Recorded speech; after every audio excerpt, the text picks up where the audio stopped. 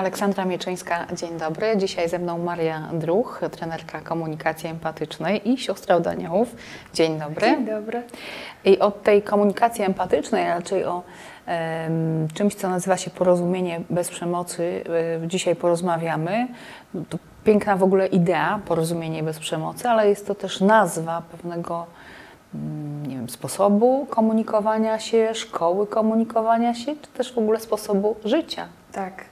Y, O porozumieniu bez przemocy mówimy, że jest pewnym narzędziem, które służy do tego, żeby y, świat stawał się piękniejszy, żeby być w lepszym kontakcie ze sobą, z innymi, z tym, co dla nas najważniejsze, co w nas żywe. Y, Twórcą tego podejścia czy tej metody jest Marshall Rosenberg, amerykański psychiatra, który znaczy to psychiatra to nawet mało powiedziane, tylko jedna, jedna z jego dziedzin, w której on e, pracował. Em, w każdym razie jemu najbardziej zależało na tym, żeby e, ludzie dostrzegali to, że są równi w swoich potrzebach, że wszyscy mają je wspólne i na tej bazie mogli się spotkać. Mhm.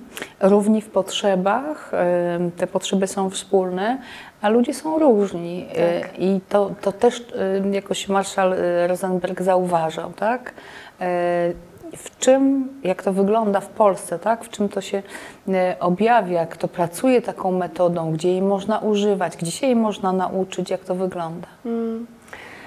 Zastosowanie, komunikacja empatyczna, bo tak inaczej mówimy o porozumieniu bez przemocy, czy inaczej komunikacja oparta na potrzebach, ma w bardzo wielu miejscach, y, właściwie we wszystkich dziedzinach życia, kiedy staje się takim stylem życia, podejściem do siebie, do innych, y, bo służy zarówno w y, relacjach partnerskich, takich, kiedy jesteśmy na równi, kiedy chcemy budować związek, y, być w relacji bliskiej, żywej z kimś drugim, okazywać komuś empatię, y, służy również w relacjach y, pracowniczych, w biznesie. Tego się możemy uczyć. Jak... Czyli mogę empatycznie komunikować się ze swoim szefem. Tak, tak, możemy budować organizację na bazie komunikacji empatycznej. y, Czy to i nie jest świat się. utopijny? Są pewne zasady, które, które nim rządzą, tak jak, jak w ogóle świat jest zbudowany na założeniach, tak też porozumienie bez przemocy ma swoje założenia y, i żeby budować świat y, na nim oparty, potrzebujemy je uznać i przyjąć. Y, I wtedy rzeczywiście jest to możliwe, kiedy dzielimy te same wartości, kiedy nam na tym samym zależy. Ym, Jest wiele organizacji, które działa w ten sposób, więc ym, mamy takie doświadczenie, że to rzeczywiście działa, że to jest możliwe. Świat bez przemocy nie oznacza świata bez konfliktów. Y, Więc kiedy mówisz o, o utopii, to, to wyobrażam sobie, że mm, nie będzie utopią świat, w którym uznajemy, że konfli- konflikt jest szansą na rozwój y, i że wspólnie go y, rozwiązujemy, nie szukając kompromisów, ale takiego miejsca, w którym każdy z nas będzie czuł się wygranym. Mhm. E, To trochę tak, że mm, jeżeli mamy, nie wiem, wyo- wyobraźmy sobie różnicę zdań, y, przekładając to na konkretne sytuacje w życiu. I ta różnica zdań jest na przykład między mężem a żoną, tak? Okej, to jak wygląda takie empatyczne spotkanie e, w przeciwieństwie, jakbyśmy mogły to zobrazować, do takiego spotkania, które empatycznym nie jest? Mhm. Cieszę się, że mówisz tutaj o spotkaniu męża-żony, bo kolejną przestrzenią, w której y, porozumienie bez przemocy ma zastosowanie, jest w ogóle kwestia rodziny i relacji ro, zarówno małżeńskich, jak i rodzicielskich, więc służy też wychowywaniu dzieci w tym duchu. A kiedy mówisz o, o relacji męża i żony i, i momencie konfliktu, czegoś, czym tak na, co tak nazywamy, jakiejś różnicy zdań, to podejście empatyczne polegałoby na tym, żeby przede wszystkim zauważyć w drugiej osobie człowieka, czyli to, że on ma swoje uczucia, ma swoje potrzeby, że każde działanie, które, y, które robi albo którego mm, w jakiś sposób zaniechuje, to nie jest dobre słowo, ale, No, tak, nie tak, robi go. zaniecha, Tak. Mhm. jest, em, mm, nie wynika z tego, że chce być przeciwko nam, ale dlatego, że chce zaspokoić swoje potrzeby. Więc w takiej rozmowie chodziłoby o to, żeby dotrzeć do tych potrzeb, przyglądając się uczuciom, patrzeć, jakie są za tymi uczuciami potrzeby. Y, I kiedy jedna strona zorientuje się, czego potrzebuje, i druga, wtedy mogą szukać wspólnych rozwiązań, bo miejsce, w którym się dzielimy, to y, różnimy, to strategia, czyli sposoby zaspokajania tych potrzeb. Banalny przykład. Gdzie jedziemy na wakacje? Taka rozmowa, Tak. tak? Nad morze czy w góry? Mhm. Y, Jedna osoba twierdzi, że ona odpocznie tylko nad morzem, druga tylko w górach. Y, A chcą pojechać razem? Tak. Jeszcze są dzieci w tym wszystkim. Tak. E, Więc często okazuje się, że taki problem, który wydaje się właśnie takim banalnym, jak e, właśnie gdzie jedziemy na wakacje, wcale nie dotyczy em, tego problemu, tylko że kwestia em, jakiejś niezgodności jest gdzieś, jest gdzieś głębiej. Bo kiedy szukamy, na czym nam tak naprawdę zależy, to jest, dochodzimy do potrzeb, czyli do więzi, do kontaktu, do wspólnoty, do miłości, do bycia widzianym, słyszanym, akceptowanym, do jakiejś przestrzeni, niezależności. I do tego, żeby też nie było przemocy, tak? Że, że załóżmy, nie wiem, żona chce nad morze, mąż w góry, bo kocha góry, bo na przykład w młodości chodził bardzo dużo po górach, e, a z kolei dobre skojarzenia z odpoczynkiem nad morzem ma żona i okazuje się, że jakimś sposobem przez 10 lat jeżdżą tylko nad morze, Tak, prawda? czy to jest o jakiejś równowadze, I której tutaj w tym szans. przypadku by, by nie było. Tak, tak. Ym, Sposobem do tego, żeby dojść do porozumienia jest rozmowa, jest kontakt, jest właśnie komunikacja, której uczymy się dzięki takim krokom, które Mar- Marshall y, ułożył. Pierwszym jest wyjście od faktów, od tego, do czego się wszyscy możemy zgodzić, ym, co zarejestrowałaby kamera. Mhm, tak, bez emocji, tak? Tak, Widzimy tak, to, to i to, tak. tak? Tak. Y, I o Nie tym- dopowiadamy bez interpretacji. tak. O, właśnie o to chodzi. Kiedy już wiemy, jaki jest nasz punkt wyjściowy, czyli jakie są fakty, na przykład ostatnie trzy lata jeździliśmy w góry i to są fakty, nie? albo e, na przykład żona jest, e, jest chora i, i potrzebuje jodu, więc to są dodatkowe jakieś tam informacje, tak, czy, czy, czy informacje, fakty, tak. Mhm. rzeczy, które, mm, no, które możemy sprawdzić. E, Znowuż e, kwestia pogody czy temperatury morza, rzeczy, które zbieramy, takie, które są rzeczywiście informacjami.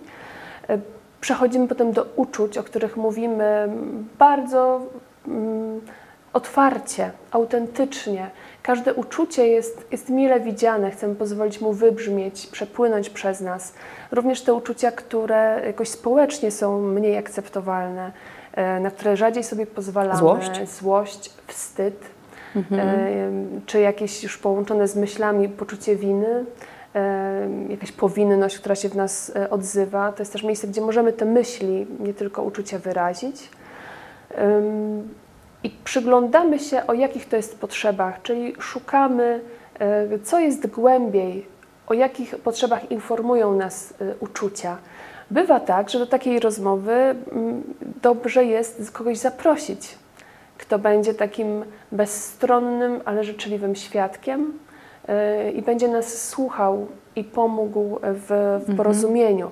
E, To już jest forma jakiejś mediacji, czegoś takiego, co może nam się kojarzyć tylko z sądem, z jakimś przymusem, miejscem, gdzie wysyła nas jakiś już e, jakaś Tak, bo nie, nie instytucja. potrafimy się porozumieć w inny Tak, sposób. Mhm. tak. Ale można z tego skorzystać po prostu. Tak, w, w przestrzeni porozumienia bez przemocy mediacje to jest po prostu narzędzie, które pomaga nam się dogadać, e, a czyjaś obecność nam to ułatwia. Mhm. To jeszcze wrócę do tej y, wakacyjnej historii Tak. i teoretycznej takiej sytuacji, że rzeczywiście przez 10 lat były wyjazdy nad morze, a mąż tęskni za górami i jakoś przy e, każdorazowych, załóżmy, rozmowach o, o wyjeździe to dochodzi do krzyku, do mm, bo ty to zawsze, bo ty to nigdy i generalnie żona stawia na, stoi, na swoim. Oczywiście może być odwrotnie, że to mąż stawia Tak. na swoim, tak?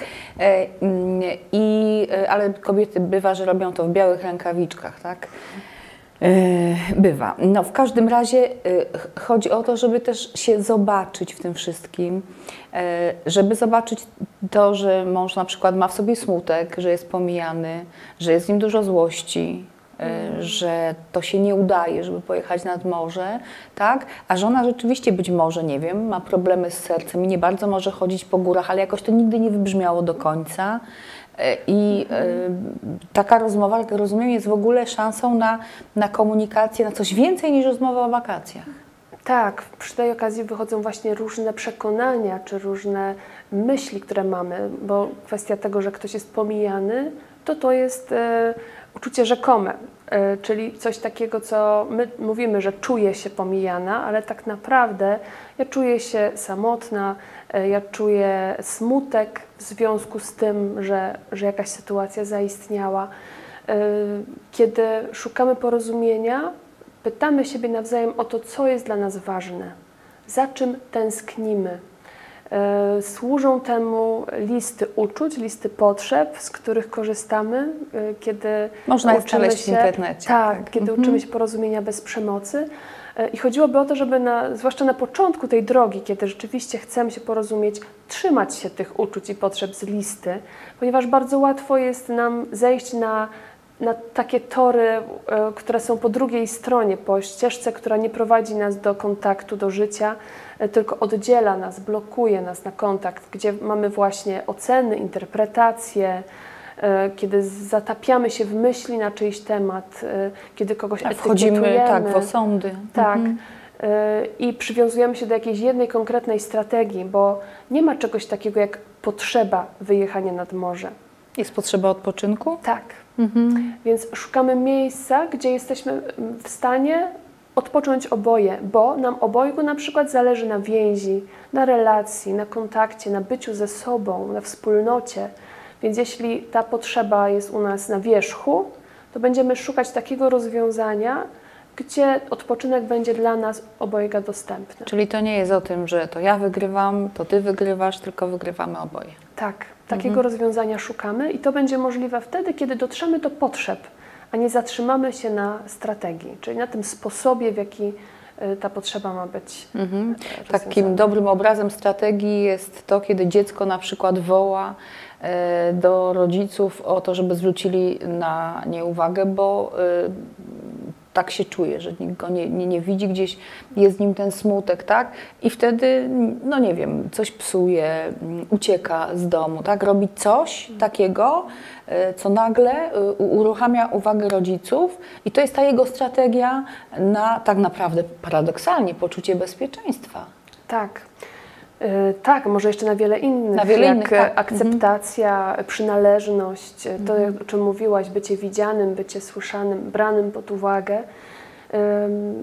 Rodzice są tymi, którzy przez nie tyle przez nauczanie, przez robienie wykładów, ale przez przykład mhm. uczą dziecko świata uczuć, świata potrzeb e, i w takich sytuacjach, kiedy e, dziecko samo próbuje, czy nastolatek, własnych sposobów, będzie popełniać wiele błędów, czyli wybierać takie strategie, które ostatecznie mogą nie służyć jemu, mogą nie służyć innym. E, to, o co by chodziło, to też przyjęcie takiego założenia, założenia niewinności, mhm. tego, że nikt z nas nie robi komuś na złość nie wybiera krzywdzenia kogoś y, jako intencji takiej wprost, że zawsze za tym jest chęć zaspokojenia jakichś swoich potrzeb, które są dobre, które są piękne, które są wartością. Dlatego odchodzimy od takiego e, kategoryzowania: to jest dobre, to jest złe. E, ktoś tutaj ma rację, albo ktoś jest winny. Chcemy spojrzeć na świat ludzi, którzy mają takie same wartości i takie same potrzeby. Może mhm. nawet w tę stronę potrzeby, bo nie każda wartość jest potrzebą. Mhm. Myślę, że to jest w ogóle temat rzeka e, i wszystkiego nie zdążymy opowiedzieć. Za dziś pięknie dziękuję. Przypomnę, że Państwa i moim gościem była Maria